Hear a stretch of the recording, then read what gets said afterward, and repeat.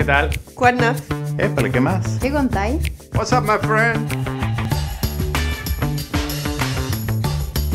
Bueno, bienvenidos a otra emisión aquí de WhatsApp. Hoy tenemos la fortuna de contar con Carmen Pajés. Carmen, a quien yo la admiro muchísimo porque además es una de nuestras mejores profesionales que tenemos en el banco. Como todos saben, se ha dedicado a los temas de mercados laborales y sacó esta publicación que se llama El Laboratorio de Ahorro para el Retiro. ¿De qué se trata, Carmen?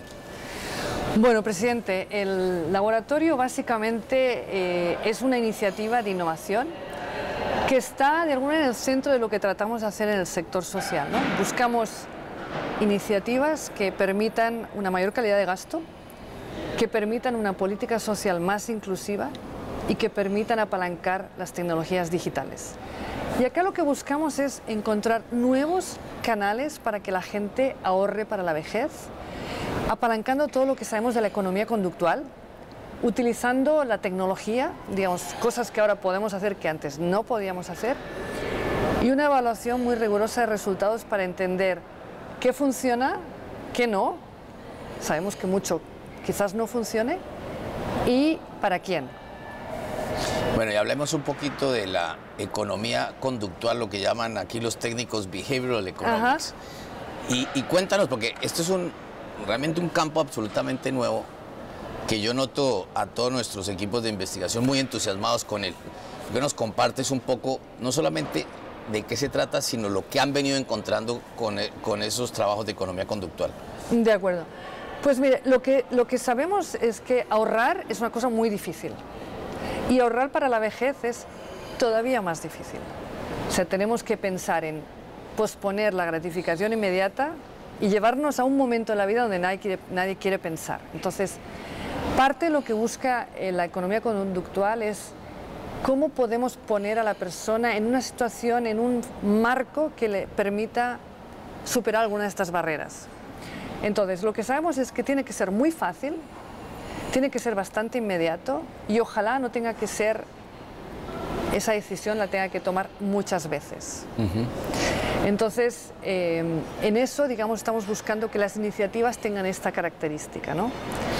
Ahora, Carmen, uno de los temas con todo el trabajo que tú has hecho en mercados laborales y en pensiones, en, en una región como la nuestra, que prácticamente el 50% de la fuerza laboral está en, en, en, en la informalidad, pues quiere decir que esas personas no tienen el mecanismo de ahorro. Y parte de lo que yo creo que quieres hacer justamente con este laboratorio es justamente eso. Pero ¿cómo hacer para que la gente tenga esa conciencia del ahorro? ¿Y cuáles son los disparadores que hace que una persona, digamos ese tendero, que puede tener un flujo de caja muy bueno, pero no piensa mucho en el futuro y no ahorra para el futuro? Exacto. Y bueno, la, la gran innovación de la seguridad social en el siglo XIX fue que nos hizo un mecanismo automático. Esa es la razón, por ejemplo, a nosotros nos lo descuentan de nuestra, de la nómina. De la nómina y nos olvidamos. Uh -huh. Pero para los independientes eso no pasa. Entonces lo que estamos buscando es reproducir esa innovación pero en el siglo XXI, en un contexto donde más el trabajo independiente, el trabajo freelance, por las nuevas eh, tendencias del mercado de trabajo, la economía geek, todo eso está en cierta manera aumentando. Entonces, ¿cómo hacemos? Y ahí le voy a dar un ejemplo de cómo lo estamos tratando. Usted conoce Cabify, uh -huh, uh -huh. es como Uber, como Lyft. Acabamos de darle un crédito a través de Vidinvest. Exacto, pues con Cabify una iniciativa que me, me parece muy bonita es cómo hacer que esos conductores que están ganando dinero a través de la plataforma puedan hacer un día decidir que cada vez que ingresan un peso destinan un porcentaje a su pensión o a su ahorro de largo plazo y lo decían un día y luego eso pase automáticamente, es decir, que la plataforma misma les descuente, al igual que le hacen a usted y a mí. Uh -huh. Eso, yo creo que si conseguimos eso, vamos a conseguir apalancar la economía geek a una economía mucho más formal, a una economía donde la gente va a poder ahorrar para la vejez. Y esa es la idea. Y, el, y, y cuando a lo mejor en vez de capturar, en vez de que la gente haga ese ahorro automático, en vez de que lo haga de, a través de su nómina, lo haga, por ejemplo, cuando va a comprar y estamos trabajando con la red Ya Estás en México para que la gente haga aportes cuando compra. Hmm. O que la gente reciba un mensaje que le diga, ¿usted ya ahorró para el ahorro hoy? Es decir, todo eso son nuevas maneras de llegar a la gente que no tiene los mecanismos, digamos, formales de ahorro para el retiro. Una última pregunta y muy rápido que se nos acaba el tiempo y es esto. Yo siempre te he oído hablar de, cómo se nos va a acabar en lo que llamamos el bono demográfico. O sea, somos una, una región que nos vamos a empezar a envejecer muy rápido.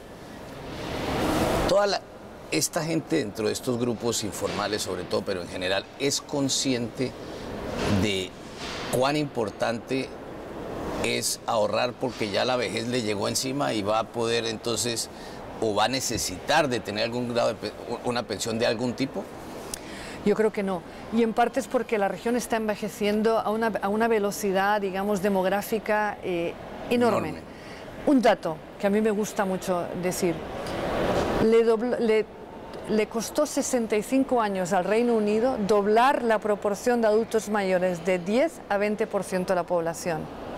A Chile, 65 años. A Chile le va a costar 22 a Nicaragua 20, wow. al promedio de la región 25. Es decir, estamos envejeciendo a una velocidad no, digamos, que no tiene precedente en el mundo. Y por lo tanto es muy difícil para un individuo poder darse cuenta que tiene que estar preparándose eh, ya para la vejez. Y por eso creo que es tan importante el rol de los gobiernos o del trabajo que podamos hacer desde aquí para eh, generar esa conciencia. Pues muchas gracias a Carmen y yo con lo que acaba de decir eh, dice mucho de, lo importante que es el trabajo de la división de mercados laborales, de los temas de pensiones, en que Carmen de lejos es reconocida. Yo no conozco ministro de Hacienda que no me llame, mándeme a Carmen para que me ayude a pensar este problema. De tal manera que muchas gracias Carmen, los invito a que vean este laboratorio de ahorro para el retiro en uno de los temas centrales de nuestra región y que se nos acabó el tiempo para decidir.